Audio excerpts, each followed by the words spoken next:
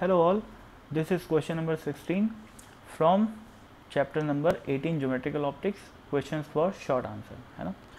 तो in us if a spherical mirror is dipped in water mirror है ना? Mirror है, ये लेंस नहीं है।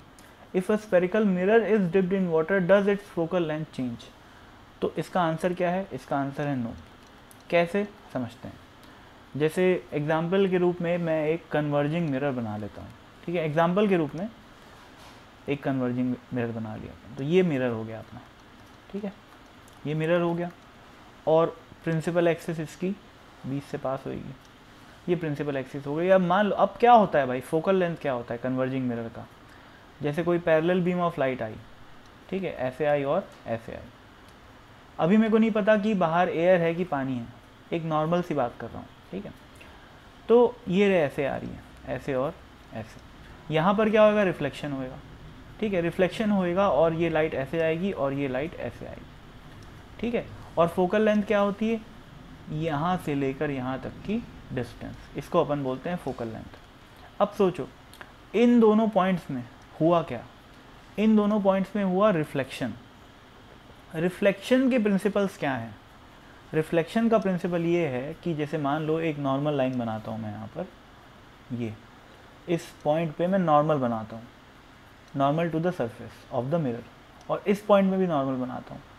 तो जो रिफ्लेक्शन के नियम है रिफ्लेक्शन के नियम है, वो ये कहते हैं कि एंगल ऑफ़ इंसिडेंस जो कि आई होता है, वो किसके बराबर होता है? एंगल ऑफ़ रिफ्लेक्शन के। इस एंगल को बोलते हैं।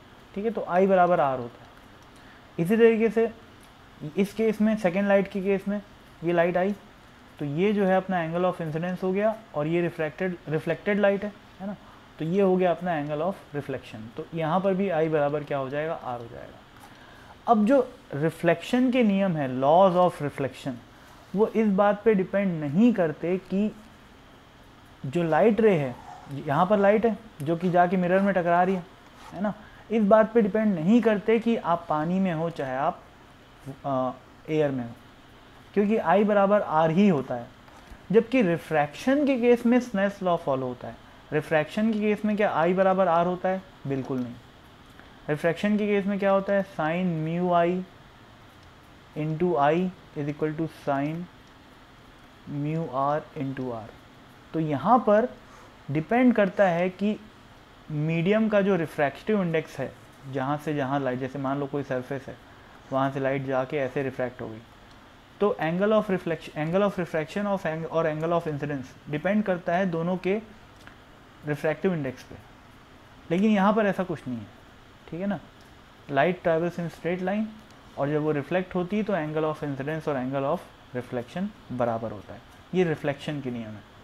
और चूँकि हम मिरर की बात करें तो मिरर क्या करता है? लाइट को रिफ्लेक्ट करता है। इस वजह से कोई फ़र्क नहीं पड़ेगा। पानी कहीं मतलब वो पानी पे हो, चाहे वो एयर में हो, चाहे कहीं और हो। यहीं आके सारी की सारी लाइट टकराएगी और यही जो है वो फोकल लेंथ होगा। ठीक है भाई? तो I hope it is clear thank you so much